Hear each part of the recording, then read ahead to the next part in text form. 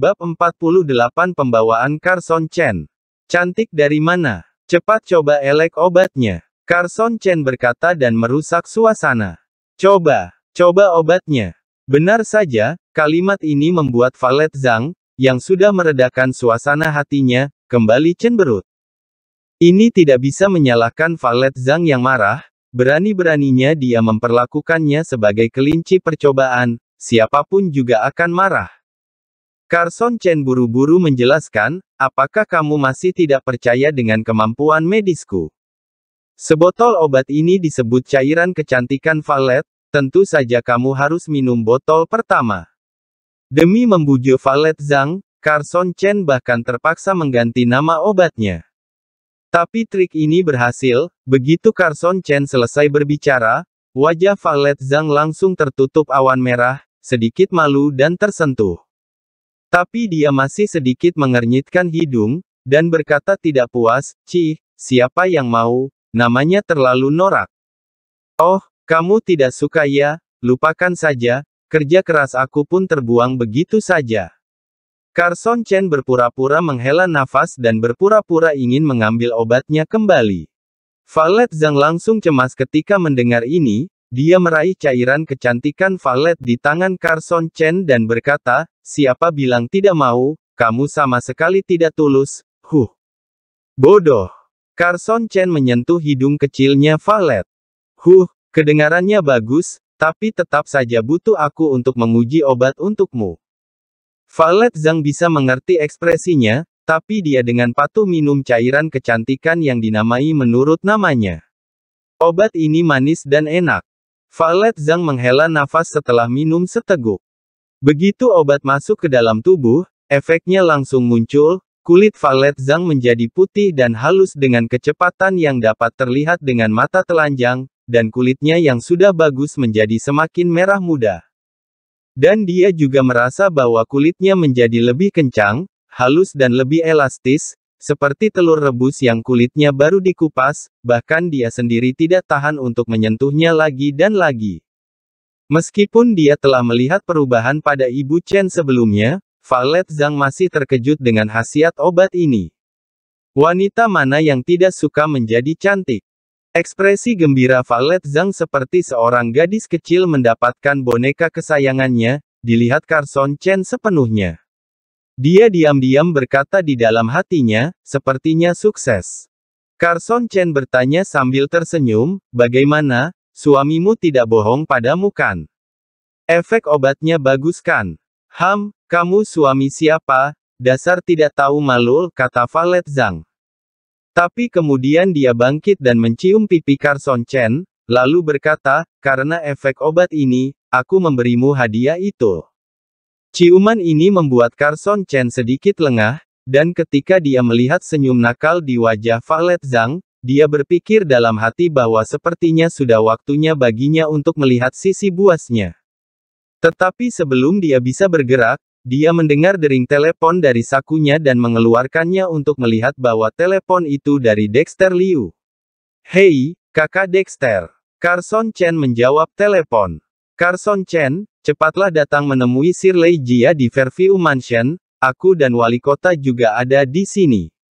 Dexter Liu berkata dengan suara rendah di telepon. Buru-buru sekali. Aku sedang menemani pacarku. Carson Chen berkata dengan sedikit tidak senang, panggilan ini datang di waktu yang tidak tepat. Sir Lei Jia telah memutuskan untuk menginvestasikan uangnya di kota Lingqi. Jika kamu tidak datang, tidak akan sempat. Suara Dexter Liu penuh dengan kecemasan. Ah, jangan khawatir, aku akan pergi sekarang juga. Carson Chen juga sedikit terkejut dengan kabar tersebut. Sepertinya dia harus segera ke sana, jangan sampal bebek yang sudah dimasak itu terbang lagi. Valet, maafkan aku, Disan. Carson Chen menjelaskan dengan perasaan bersalah. Padahal dia sudah bilang akan menemaninya hari ini. Tetapi sebelum dia selesai berbicara, Valet Zhang bergegas untuk mengatakan, tidak apa-apa, urusanmu lebih penting. Ya, Carson Chen mengangguk dalam-dalam, tidak mengatakan apa-apa, hanya memeluk tubuh halus Valet Zhang, lalu mencium Valet Zhang dengan penuh gairah. Setelah berciuman untuk waktu yang lama, kedua orang itu berpisah. Wajah Valet Zhang memerah dan terengah-engah, lalu dia mengerang, apa yang kamu lakukan, banyak orang yang menonton. Carson Chen berkata sambil menyeringai, kalau mereka mau lihat, ya biarkan saja, mencium pacarku tidak melanggar hukum. Valet Zhang menyentil dahi Carson Chen dengan tangannya, dan berkata dengan manis dan tanpa daya, kamu ini tahunya iseng. Setelah berpisah dengan Valet Zhang, Carson Chen pergi langsung ke Fairview Mansion. Fairview Mansion, terletak di sebelah kantor pemerintah kota Jinxiu, adalah wisma pemerintah kota untuk menyambut tamu, meskipun namanya wisma, karena digunakan untuk menerima tamu VIP, jadi fasilitas di dalamnya tidak kalah dari hotel berbintang Lirna. Begitu Carson Chen tiba di depan pintu, seorang satpam berjalan dan menghentikannya, Hell, hell, hell, kamu bocah mau ngapain? Apakah kamu tahu ini tempat apa? Main masuk saja. Meskipun wajah sombong satpam itu membuat Carson Chen sangat tidak senang, tetapi sekarang dia tidak peduli dengan orang kecil seperti dia, bagaimanapun, levelnya tidak sama, dia hanya dengan sangat tenang dan santai berkata, Halo, aku adalah teman Nona Shirley Jiao. Tidak menyangka, tidak hanya dia tidak membiarkan dia masuk, dia mendorong Carson Chen keluar menjauh dari pintu, pergi sana, kamu kira kamu bilang kamu teman Shirley Jia, jadi dia adalah temanmu, apakah ada bukti? Satpan itu melihat Carson Chen masih muda, dan tidak mengatakan dia itu siapa, jadi langsung melihat rendah dia, dan juga jika teman Shirley Jia datang, asisten Shirley Jia pasti akan menelpon Satpam. Yang terpenting, Satpam tahu bahwa wali kota dan Shirley Jia sedang bersama sekarang. Jika dia membiarkan seseorang yang tidak diketahui asalnya masuk, dia bisa dipecat kali. Apa yang kamu lakukan? Mengapa kamu mendorongku? Kesabaran Carson Chen hampir mencapai balas. Apa maksud Dexter Liu, meminta dirinya untuk datang, tetapi dia bahkan tidak bisa masuk ke pintu. Mendorongmu. Aku masih ingin memukuli kamu, satpam itu belum pernah melihat orang seperti Carson Chen yang tidak tahu diri, dan sambil berbicara, sambil ingin memukulnya. Hentikan. Tapi sebelum dia bisa menyentuh Carson Chen, dia mendengar teguran datang dari belakangnya. Menyentuh teman Nona Shirley Jia, apakah ini kualitas staf Fairview Mansion? Orang itu menegur dengan nada buruk. Ketika Satpam melihat orang itu, dia sangat ketakutan sehingga dia tidak bisa mengatakan apa-apa, dan keringat di dahinya tiba-tiba mengalir jatuh.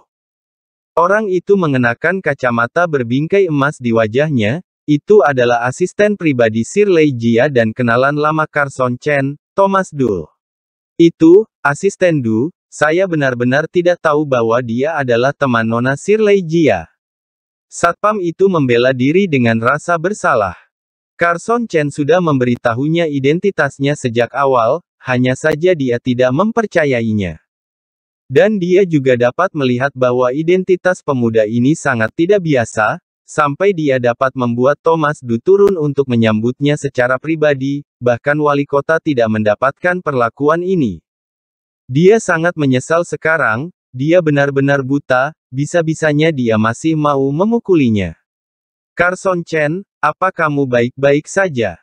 Jangan khawatir, aku akan mengatakan yang sebenarnya kepada wali kota Jin Xiu, Dasari, Thomas Du masih marah akan perlakuan yang diberikan kepada Carson Chen. Tanpa diduga, Carson Chen hanya melambaikan tangannya dan berkata, tidak apa, jangan mempersulit dia, ini adalah tugasnya. Ini yang namanya pembawaan. Ini yang namanya level. Carson Chen memberi pelajaran kepada Satpam Parubaya ini, dia memang harus melakukan pekerjaannya dengan baik, tetapi minimal juga harus memiliki rasa hormat kepada orang lain. Bab 49 bertemu dengan Shirley Jia lagi. Carson Chen mengikuti Thomas Du naik ke atas, Thomas Du mengedipkan mata dan bertanya, apakah kamu di sini untuk membantu Dexter Liu sebagai pelobi? Carson Chen melirik Thomas Du dan tersenyum tidak menjawab. Thomas Du melanjutkan, bro, jangan salahkan aku tidak mengingatimu. Aku telah kenal Shirley Jia cukup lama. Dia memberiku kesan sebagai orang yang yang membedakan urusan kerja dan kehidupan pribadi dengan jelas, dan kamu juga mengerti gaya orang barat. Jadi kemungkinan dia tidak akan memberimu muka. Benarkah? Carson Chen berkata dengan senyum misterius, bagus kalau begitu. Thomas Du seperti jatuh ke dalam awan, dia benar-benar tidak mengerti apa. Yang dimaksud Carson Chen, tapi dia masih berkata, sebenarnya, Berdasarkan perasaan pribadiku, aku lebih suka kota Jinxiu, karena kamu ada di sini, tetapi aku benar-benar tidak memiliki hak untuk memberi Nona Shirley Jia saran. Tidak ada yang salah dengan kata-kata Thomas Du. Carson Chen tahu bahwa kata-katanya itu tidak boleh dipercaya semua, tetapi itu juga sangat berguna.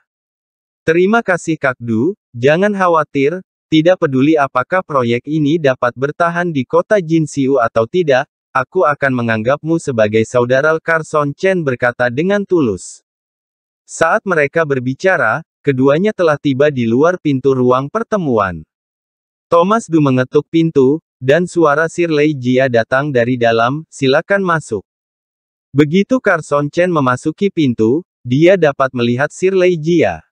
Hari ini dia mengenakan celana jeans ketat, kemeja putih lengan pendek, rambut emas diikat di belakang kepalanya, gaya minimalis ini menguraikan sosoknya yang seksi, dan membuatnya terlihat seksi dan profesional. Shirley Jia berjalan menuju Carson Chen sambil tersenyum, dan memberinya pelukan hangat. Carson Chen membungkuk sedikit untuk menghindari rasa canggung yang tidak perlu, tidak ada cara lain, Pakaian musim panas terlalu tipis, tubuh Shirley Jia terlalu menarik. Carson Chen, kamu sudah sampai pada saat ini, Dexter Liu juga datang, menyapa Carson Chen, dan memperkenalkan orang di belakangnya kepada Carson Chen, ini adalah wali kota kota Jinxiu, wali kota Wu. Carson Chen telah memperhatikan pria paruh baya berekspresi suram yang meringkuk di sofa. Dia sedikit gemuk, dengan wajah besar dan hidung kecil. Carson Chen tahu bahwa orang-orang dengan wajah seperti ini umumnya memiliki impian yang terlalu tinggi, ambisius tetapi pengetahuannya sedikit, susah untuk sukses. Wali Kota Wu, halo. Carson Chen menyapanya sambil tersenyum. Dan seperti yang diduga Carson Chen, Wali Kota Wu hanya mengeluarkan suara, N, yang lembut melalui hidungnya, tidak hanya tidak bermaksud untuk berdiri dan berbicara, tetapi dia bahkan tidak bersedia melihat Carson Chen. Carson Chen bertanya-tanya pada dirinya sendiri, dia tidak pernah bertemu dengannya, jadi mengapa dia tampak tidak menyukai dirinya. Tetapi wali kota Wu tidak merasa bahwa dia telah melakukan kesalahan. Pihak lain hanyalah seorang dokter kecil, dan masih sangat muda sehingga dia tidak layak untuk dipandang tinggi. Jika bukan karena Carson Chen adalah teman Shirley Jia, dia akan terlalu malas untuk bertemu orang kecil seperti ini. Tidak tahu apakah Dexter Liu salah minum obat, bisa-bisanya dia berpikir dokter kecil ini dapat meninggalkan proyek sebesar itu di kota Jinxiu. Dexter Liu juga merasa canggung, dia tidak menyangka wali kota Wu memiliki sikap seperti itu terhadap Carson Chen. Sebelum dia datang, dia memuji Carson Chen sampai ke langit, tetapi dari sikap wali kota Wu, sepertinya dia tidak mempercayai kata-kata Dexter Liu sama sekali. Untuk memecahkan situasi yang canggung ini, Shirley Jia berkata kepada Carson Chen dengan akrab, Carson Chen, aku sudah beberapa hari tidak melihatmu, aku mulai merindukanmu. Orang luar negeri ini terlalu terus terang. Pikir apa ngomong apa, Carson Chen diam-diam senang bahwa Valet Zhang tidak ada di sisinya, jika tidak, dia tidak tahu bagaimana cara menjelaskan kepadanya. Aku juga merindukanmu. Bagaimanapun, Valet Zhang tidak ada di sisinya, jadi Carson Chen menjawab dengan berani. Hahaha. Shirley Jia tersenyum bahagia, tidak tahu apakah dia senang karena Carson Chen merindukannya, atau karena alasan lain. Tapi ekspresi wali kota Wu menjadi lebih suram. Dia datang untuk berbisnis, bukan untuk melihat orang-orang muda ini pacaran, jadi dia berkata, Dexter, kamu bisa menceritakan semuanya dengan singkat. Dexter Liu memandang wali kota Wu, dan kemudian ke Carson Chen. Saat hendak berbicara, Carson Chen mendahului Dis dengan mengatakan, Kak Dexter, kamu tidak perlu cerita lagi, aku kira-kira sudah tahu. Tindakan Bu tidak ada arti apa pun, dia benar-benar merasa bisa melersti omong kosong, tetapi menurut wali kota Wu, anak ini terlalu tilak sabarani, tidak sopan dan tidak tahu aturan. Ini membuatnya semakin tidak menyukai Chan Son Chen. Sirlei Jia, ku dengar kamu datang ke China kali ini untuk berinvestasi di Taman Industri Farmasi berakala besar. Tanya Carson Chen terus terang. Ya, ya, Sirlei Jia mengangguk. Kalau begitu, sudahkah kamu memutuskan pilih yang mana? Carson Chen bertanya lagi. Aku belum membuat keputusan akhir, tetapi tim aku lebih condong ke kota Linky setelah pemeriksaan dan evaluasi menyeluruh, kata Sirlei Jia dengan sedikit penyesalan. Belum membuat keputusan akhir, itu bagus. Carson Chen senang, begini dapat menghindari banyak masalah yang tidak perlu. Jika kamu telah membuat keputusan dan kemudian menyesalinya, maka akan susah bilangnya dengan kota Linky. Menurut Carson Chen, investasi Sirlei Jia di kota Jinxiu sudah menjadi kepastian, ini karena keyakinannya pada obatnya sendiri.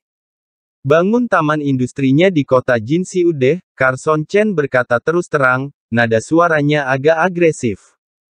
Ini Sirlei Jia mengerang, dan setelah ragu-ragu untuk beberapa saat, dia berkata, maaf, Carson Chen, meskipun aku sangat menyukaimu, Aku tidak bisa mencampur urusan bisnis dengan perasaan pribadi.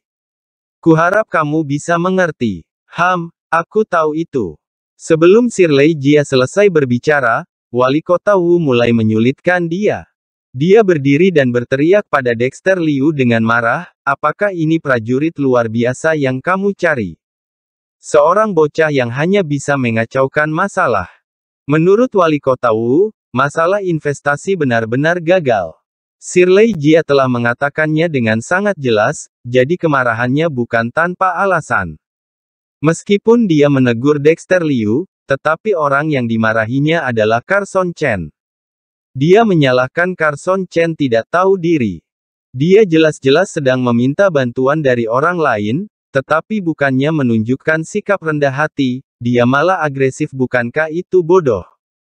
Wali kota Wu, aku Dexter Liu terdiam beberapa saat. Sebenarnya, dia sendiri tidak memahami situasinya. Bagaimana mungkin Carson Chen mengucapkan kata-kata yang begitu langsung dan tidak masuk akal? Ini sama sekali bukan gaya Carson Chen. Tapi bagaimanapun, hal telah terjadi. Dexter Liu sangat menyesal meminta bantuan Carson Chen saat ini, tetapi dia juga tidak menyalahkan Carson Chen hanya bisa menyalahkan dirinya sendiri. Lagi pula, dialah yang membawa Carson Chen ke sini. Apa, kamu masih ada muka tetap di sini? Setelah berbicara, wali kota Wu hendak pergi. Dan pada saat ini, Carson Chen berkata, wali kota Wu sebaiknya tinggal lebih lama. Yang ingin aku bicarakan dengan Nona Sirlei Jia bukanlah hubungan pribadi, tetapi kerjasarna bisnis. Bab 50 Carson Chen, apakah kamu adalah dewa? Kata-kata Carson Chen untuk membuat wali kota Wu tetap tinggal sepenuhnya karena Dexter Liu, jika tidak, dia tidak akan peduli dengan orang yang tidak tahu diri itu. Dexter Liu segera membujuknya, wali kota Wu, tinggallah dan lihatlah. Huh. Wali kota Wu mendengus, tapi dia tetap berhenti. Lagi pula, investasi Sirlei Jia sangat penting. Sirlei Jia mengabaikan sikap wali kota Wu, memandang Carson Chen dengan rasa ingin tahu, dan bertanya, Carson Chen, apa yang kamu maksud dengan kerjasama?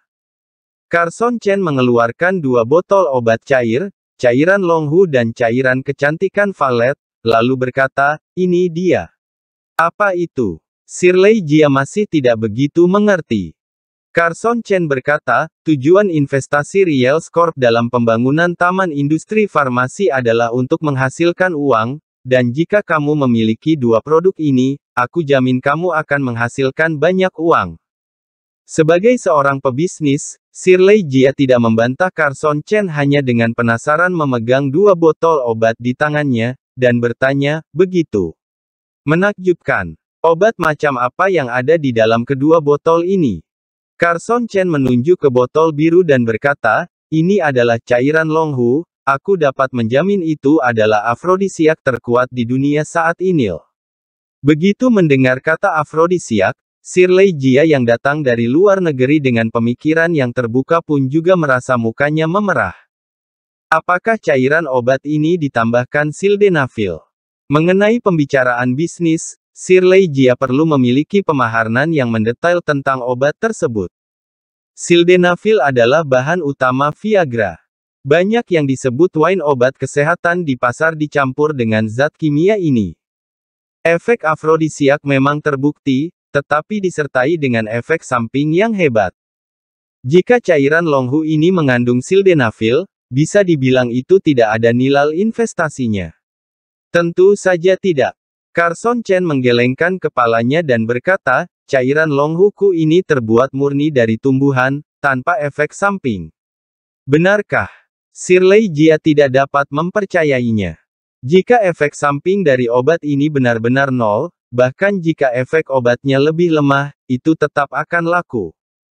Bagaimanapun, sebagian besar kekayaan di dunia ada di tangan beberapa orang paruh baya, dan pria paruh baya dan orang tua kebanyakan menghadapi masalah itu. Omong kosong, yang terkuat di dunia, nak, jangan menyambungkan diri tanpa buktil pada saat ini, suara yang tidak senang dapat terdengar. Orang yang berbicara adalah wali kota Wu, tidak tahu apa yang dia pikirkan. Shirley Jia saja tidak mengatakan apa-apa. Dia yang seharusnya berada di sisi yang sama dengannya, malah mengejek Carson Chen. Carson Chen mencibir dan berkata, soal yang terkuat di dunia, aku tidak berani menjamin. Tapi bagi wali kota Wu, tidak ada obat di pasaran yang lebih cocok untukmu daripada cairan Longhu. Apa maksudmu? Wajah wali kota Wu berubah tiba-tiba, dan dia bertanya dengan kasar. Maksud Carson Chen mengatakan dia membutuhkan obat ini sangatlah jelas, maksudnya dia lemah. Dan ini adalah titik sakit wali kota Wu. Kegagalan beberapa kali telah membuatnya tidak bisa mengangkat kepalanya di depan istrinya, dan itu juga meninggalkan bayangan besar di hatinya. Apa maksudku? Tanya Carson Chen, lalu dia berkata, Wali kota Wu, jangan lupa, aku seorang dokter, dan aku bisa melihat apa yang salah denganmu dalam sekilas. Kamu, kamu, kamu. Wali kota Wu menunjuk dengan marah ke Carson Chen dengan jarinya, dan bahkan mengucapkan tiga kata, kamu berturut-turut. Dia tidak ingin soal privasinya diungkit di umum secara terbuka. Saat ini, dia merasa seperti ditelanjangi dan dibawa pergi parade. Carson Chen, jangan keterlaluan. Dexter Liu memarahi dengan ekspresi serius. Meskipun dia juga menahan rasa tawanya, ejekan Carson Chen membuatnya kesusahan. Bagaimanapun, Carson Chen diperkenalkan olehnya. Untuk mencegah Carson Chen mengatakan apa pun yang membuat wali kota Wu marah, dia harus menghentikannya dengan cepat. Carson Chen tersenyum kecil, merentangkan tangannya, dan memberinya isyarat untuk berhenti berbicara. Dasar kamu bajingan. Wali kota Wu telah menahan untuk waktu yang lama, dan akhirnya dia tetap memarahinya. Dia merasa prestisenya telah diprovokasi, jadi dia marah dan membenci Carson Chen. Wali kota Wu, aku rasa kita sebaiknya bicara tentang bisnis dulu. Shirley Jia melihat bahwa wali kota Wu sangat marah. Secara alami, dia tidak akan membiarkan Carson Chen diintimidasi, jadi dia segera mengubah topik. Pada akhirnya, dia juga membantu Carson Chen berkata, lagi pula, minum obat pas sakit bukanlah hal yang menalukan. Perkataan Shirley Jia hampir membuat wali kota Wu pingsan karena marah, tetapi dia tidak berani melakukan apa pun terhadapnya, jadi hanya bisa menahan amarahnya. Thomas Du, soal pengujian obat, aku serahkan padamu. Aku ingin laporan lengkap, khasiat dan efek sampingnya. Shirley Jia menyerahkan cairan Longhu kepada Thomas Du dan memerintahnya. Oh ya, laporan tes juga perlu satu set. Oke, aku mengerti, Aku akan pergi sekarang. Thomas Du mengambil obatnya dan keluar. Adapun cara mengetes obatnya, hanya dia yang tahu. Shirley Jia mengambil sebotol cairan obat lainnya dan bertanya, obat apa ini? Warnanya sangat indah. Carson Chen merasa aneh, Mengapa Shirley Jia dan Valet Zhang menganggap warna obat ini indah? Mungkinkah ini-ini wanita memiliki perasaan yang sama? Tapi sekarang bukan waktunya untuk memikirkan detail ini. Carson Chen berkata, di dunia ini, selain lelaki tua, uang siapa lagi yang paling mudah didapatkan? Saat Carson Chen berkata tentang lelaki tua, mata melirik wali kota Wu dengan sengaja, Wali kota Wu mendengus marah dan sengaja memalingkan muka dari Carson Chen. Shirley Jia mendengarkan kata-kata Carson Chen dengan saksama, berpikir sejenak lalu berkata, maksudmu wanita. Pintar. Carson Chen menjentikkan jarinya. Dia tidak menyangka Shirley Jia bukan hanya berpayudara besar, tetapi juga sangat cerdas, tidak heran dia bisa mencapai posisi ini di usia yang begitu muda. Nama obat ini adalah cairan kecantikan valet, khusus untuk wanita. Adapun efek obatnya, aku tidak akan banyak bicara, kamu akan tahu saat mencobanya sendiri. Cairan kecantikan valet. Shirley Jia merasa namanya aneh, apa maksudnya valet? Ketika Dexter Liu mendengarnya, dia tahu bahwa nama obat itu diambil dari nama Valet Zhang, dan diam-diam tersenyum, tidak menyangka, anak ini budak cinta. Shirley Jia menyesap cairan kecantikan valet, rasa manis langsung terasa dari tenggorokannya hingga perutnya, dan efek obatnya luar biasa. Setelah beberapa saat, dia menjadi lebih mempesona, dan seluruh tubuhnya dipenuhi dengan pesona yang menarik. Kecuali Carson Chen, wali kota Wu dan Dexter Liu tercengang. Kemungkinan saat ini mereka sendiri tidak tahu apakah mereka kaget akan efek obat yang luar biasa atau kecantikan Shirley Jia yang terlalu menarik. Oh my god!